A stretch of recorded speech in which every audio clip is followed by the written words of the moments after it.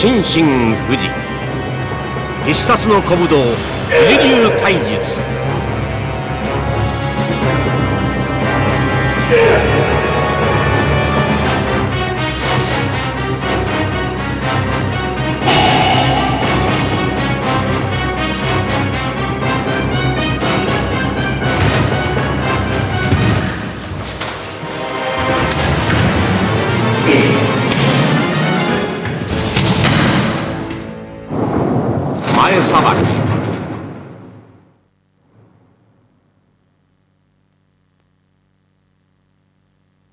ちばし落とし。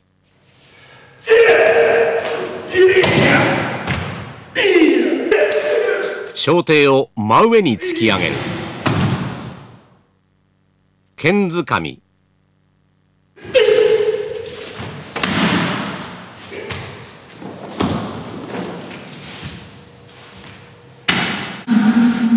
相手の拳を両手でしっかり握り込む。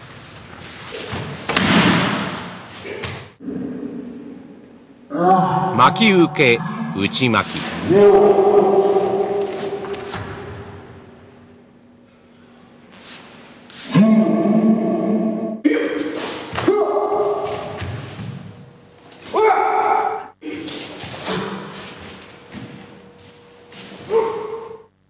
巻き受け外巻き。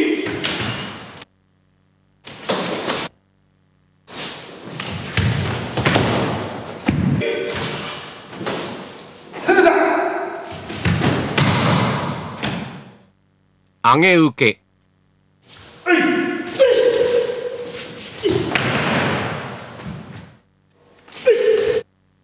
相手の肘に肘を当てる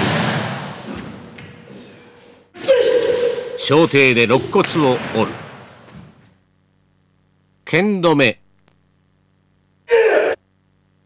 相手の拳を下から受けハサミ止め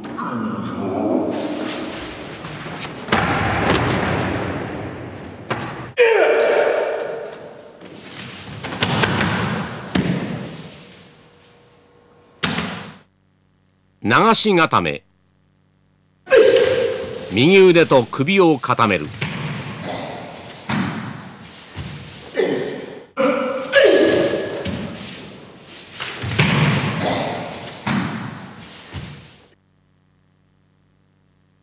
ふすま。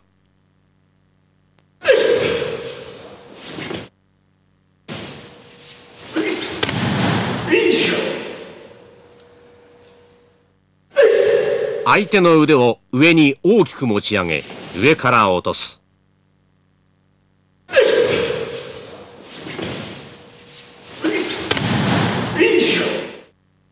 膝を打ちもろ手狩り。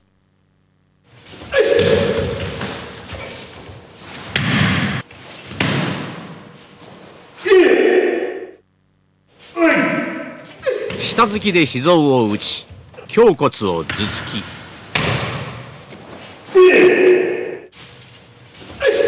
両腕で相手の膝を絞り込み引き上げて倒す。内打目つき。後頭部に手の甲をかけ手首を返す。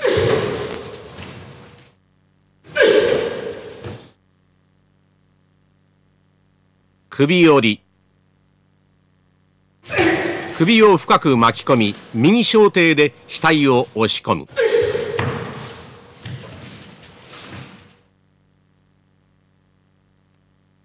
波乗り。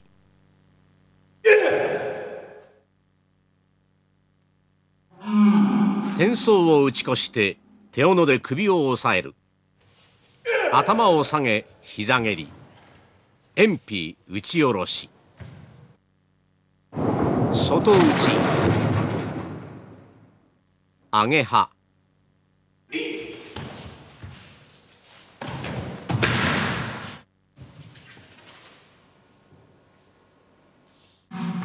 小艇で顎を打ち肩を脇に挟み下へ落とす。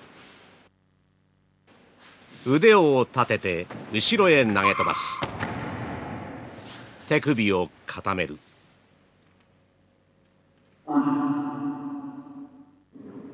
股骨落とし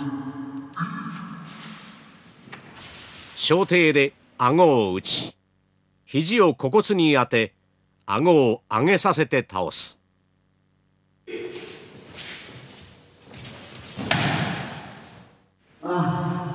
魚影腕を払い小艇で心臓を打ち下突き。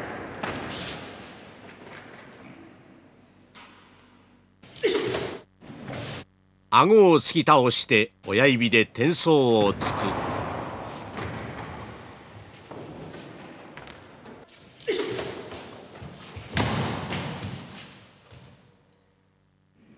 とつとつ。抜き手右親指で転送をつき左抜き手で転送をすり上げて背後に回り肘で股骨を押さえて押し落とす。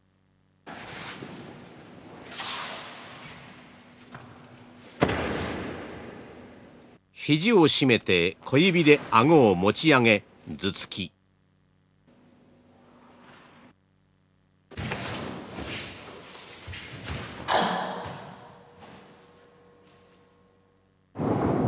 関東踊り。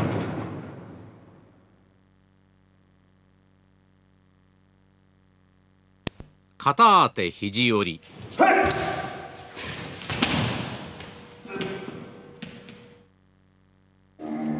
片当て担ぎ肘折り。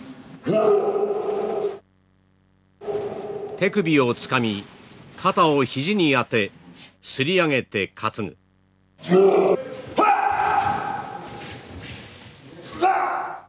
引き投げ。内側より手首をつかみ肩を肘上に当てて腕を下に引き投げる。肘を伸ばさせ手首を固める。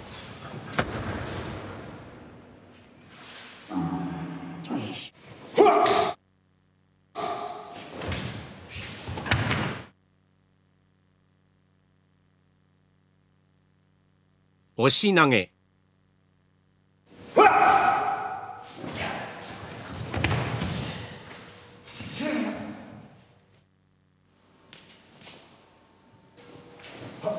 内側から腕を抱え鉛筆で顎を打ち上げ肘で肘を押さえ押し投げる。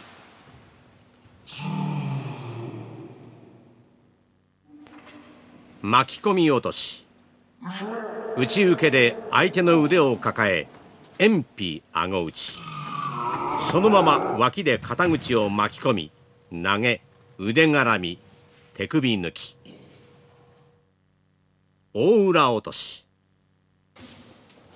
外受け腕を挟み背後から顎を引いて弓張り上から転送を突き込み倒す。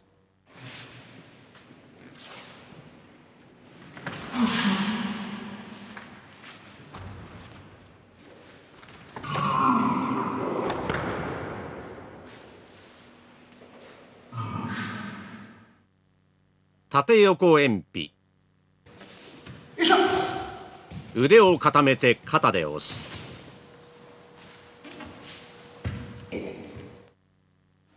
小手巻き落とし。手首を肘に巻き込み倒し。肋骨をけ込み肘を折る。小手返し。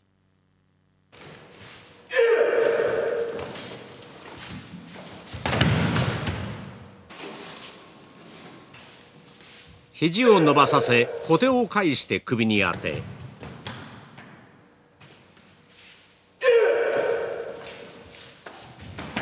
肘を押さえて押し倒す。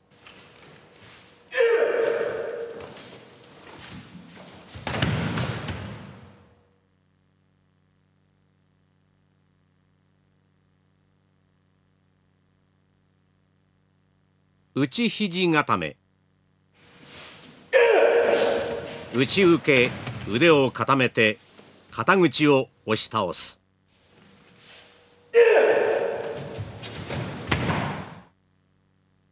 左で固める。または右で固める。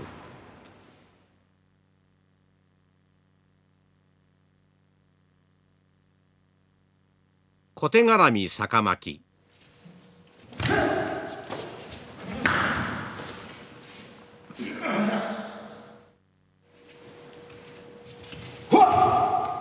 手首をつかみ肘を落とさせ肩口を脇に挟み反転して倒し手首を固める。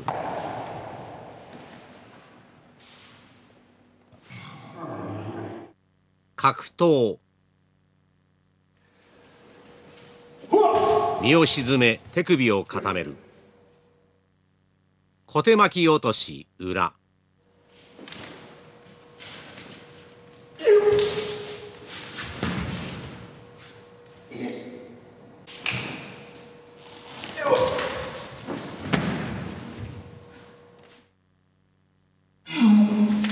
外受け腕を絡ませ大きく引き肘を支点にして押さえる。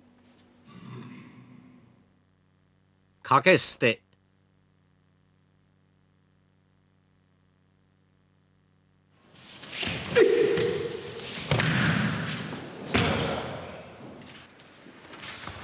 肩口を押さえ背後に回り顎に手をかけ引き倒す。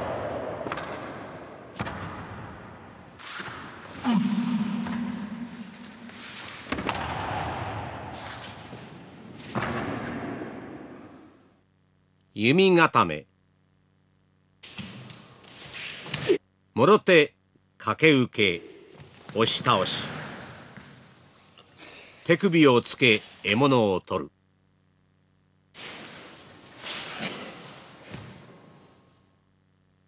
ふん。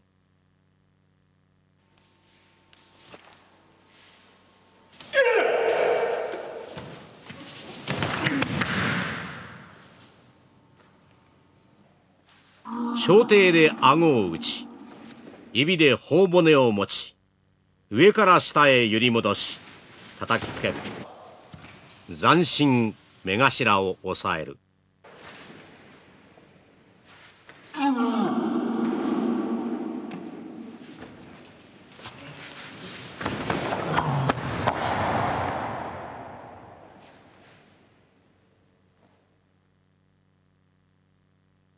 検定固め。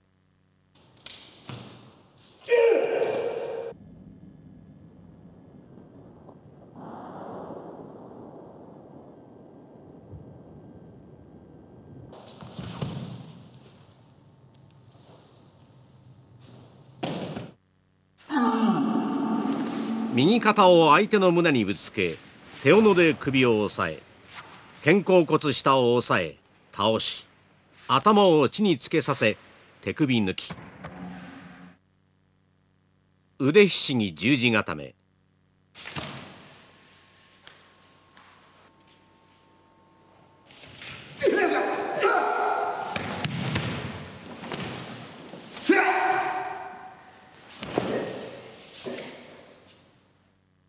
水車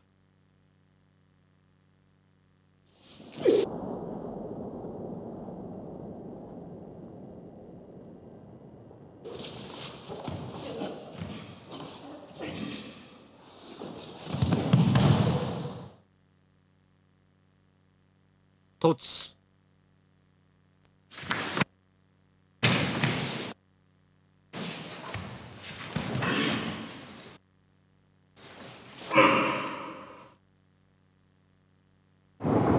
瞬間技突き上げ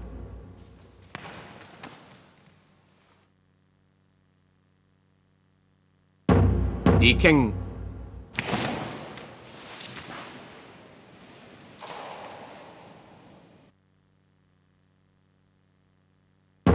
配当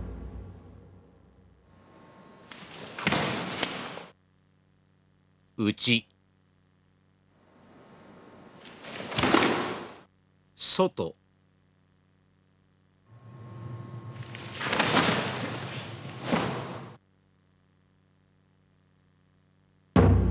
親指握り。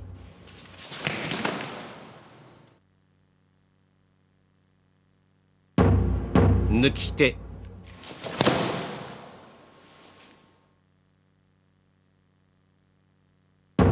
目頭切り。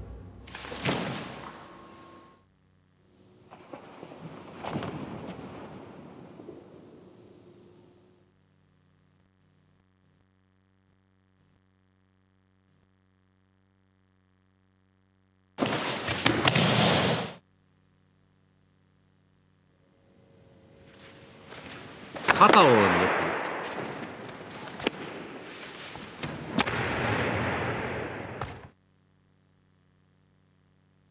く。小手先さばき。手首折り。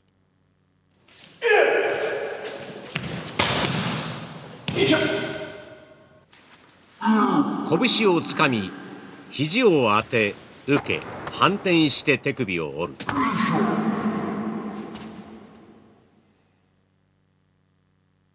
手首固め。手首を挟み受け肘を落とす。手首抜き。並び立ち肘を胸に当て手首を抜く。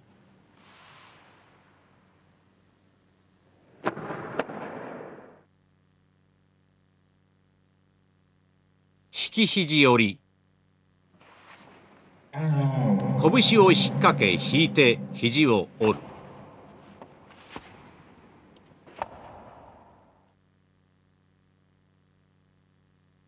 背負い肘折り。手首をつかみ肩を肘に当てすり上げ担ぎ肘折り。行き交い。かかとに親指をかけ交差。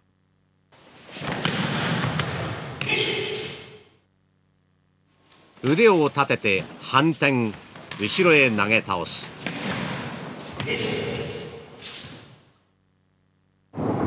護身法。その1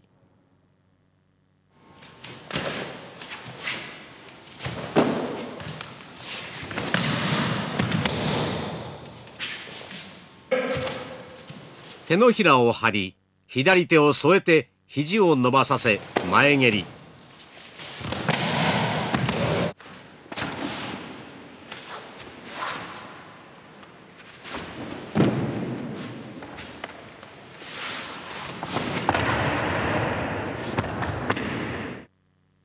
その2手のひらを張り腕を立て手首を胸につけ逆を取る。その3相手の脇へより肘を上げて遠皮肋骨折り。その4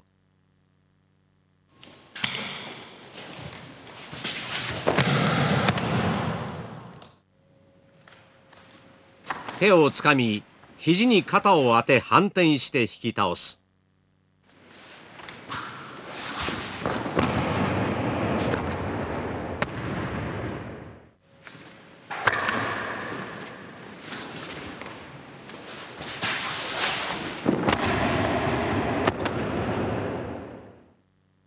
その後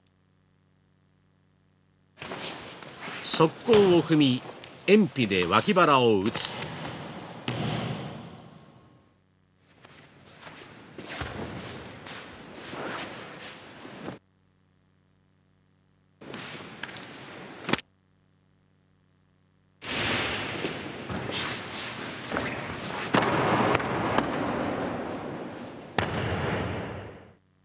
その6手を挟み絡ませ引き落とす。その7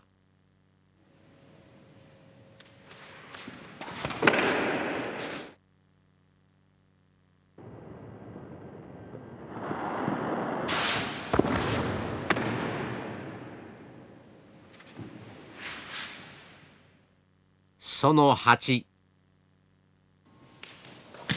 両手を揃え手を切る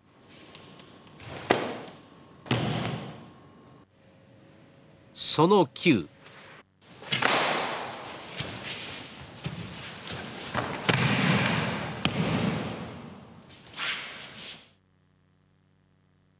手首を逆に取り頭を下げさせ投げる。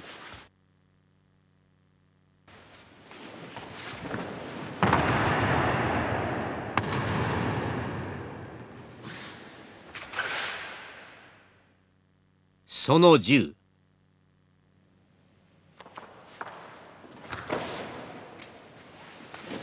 手首を逆に取り反転して投げる。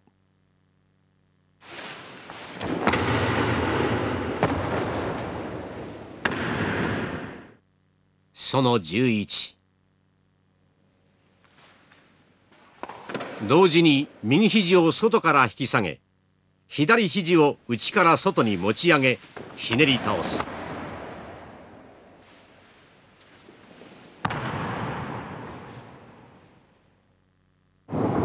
コン転送打ち。内受け腕絡み。手刀で転送を打つ。肋骨折り。肘折り。手首抜き。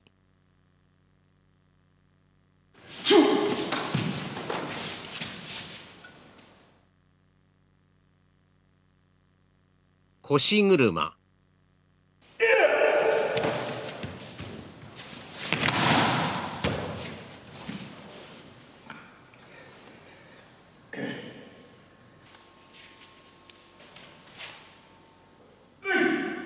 もろ手払いで。肩首を巻き込み押さえて腰車。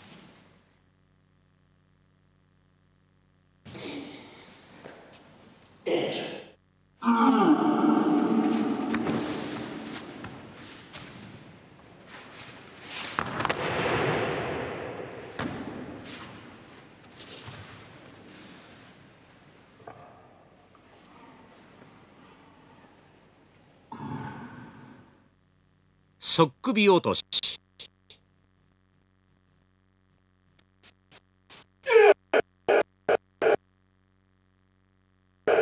飛び。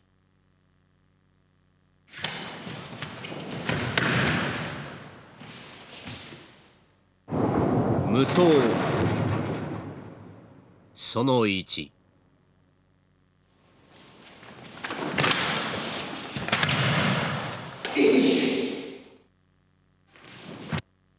抜き手を押さえ上半身を伸ばしそのまま下へ叩きつける。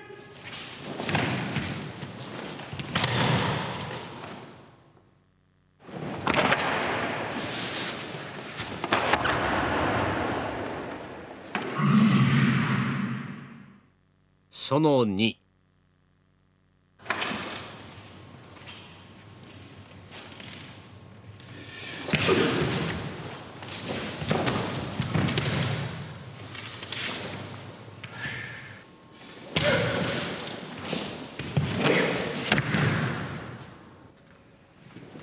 握り手を押さえて手を差し込み腕を立てて手首を返し投げ捨てる。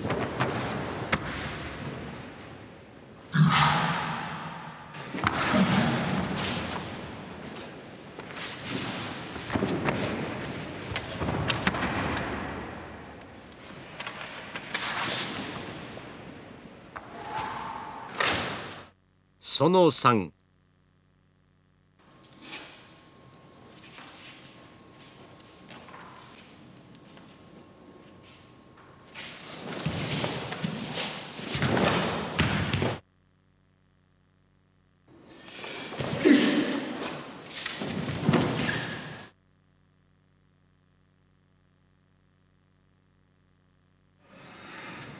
腕を差し込み小手を返して刀を首に当て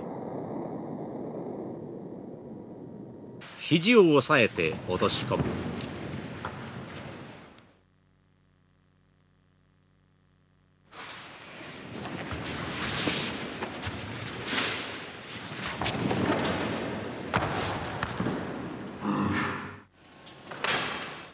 その4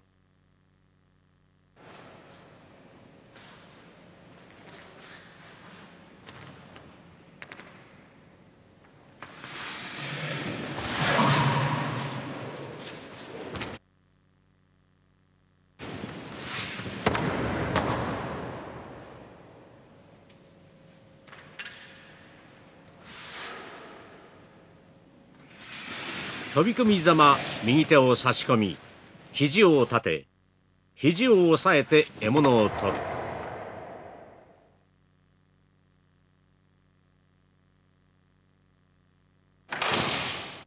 その後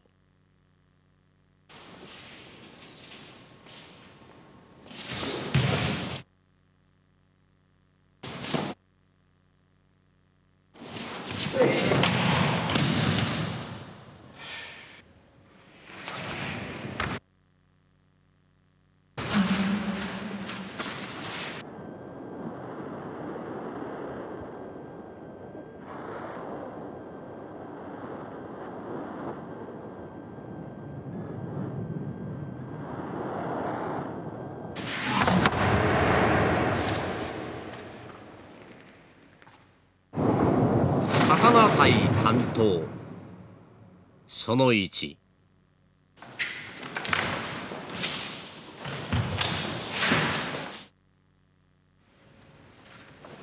抜き手を押さえ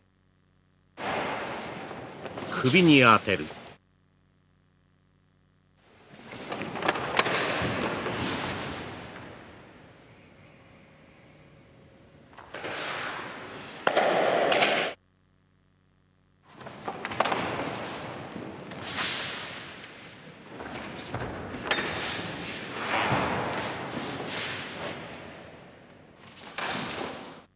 その2岩低く構える。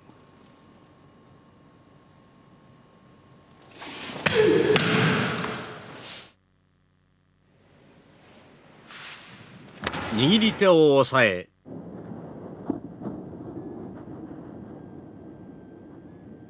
小手を切る。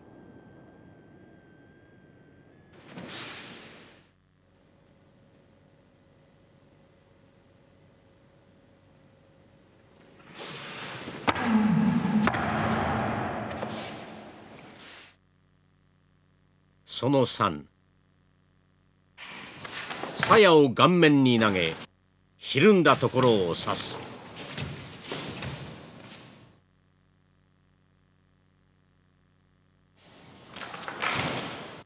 その4塚押さえ。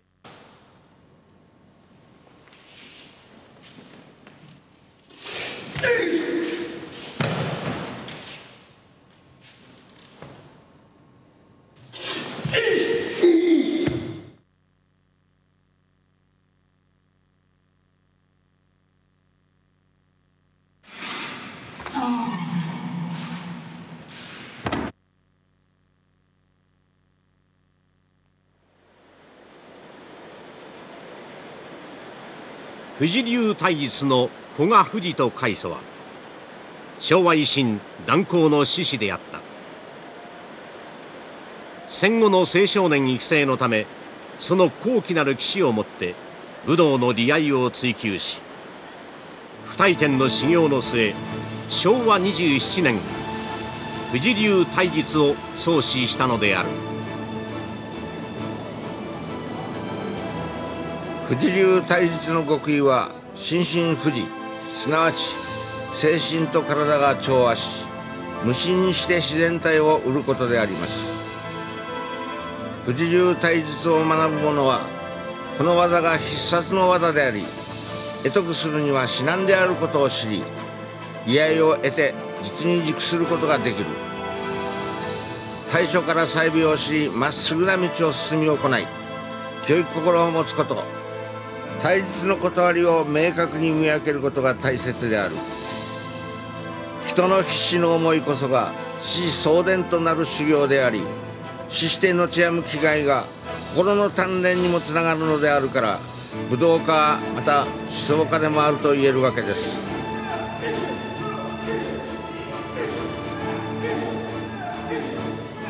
武術は心即理一朝一夕にできるものではない。明星心を無心に修行することが天地の本意を悟りうる道なのである。長短赤蓮まさに日々の行を置いて他にはない。技は千変万化。常に流れ自由自在である。それゆえ無心に戦いうる己を叩き上げるいわゆる修行こそが極意への道なのである。現在富士流体術の基本的利合は交差法を主体としている。交差法とは簡単に言えばカウンターの理論である。敵の呼吸を読み攻撃のタイミングを読む。それができれば線を取ることも合わせ技で反撃することも間合い角度を外すことも自在にできる。富士流体術の戦闘理論は極めてシンプルである。敵の攻撃に合わせ体さばきしつつ一歩前へ出る。たったこれだけのことである。しかしその体得には相当な修練を必要とするのは言うまでもない。富士流体術は現実に使用できるかどうかという観点で技を組み上げてきた。敵の攻撃に一撃で合わせ仕留める交差法を本分とし二撃三撃の攻防を繰り広げるということはない。一で合わせそのまま崩し制する。その一連の流れの中で敵を確実に封殺するのが富士流体術の戦闘理論なのである。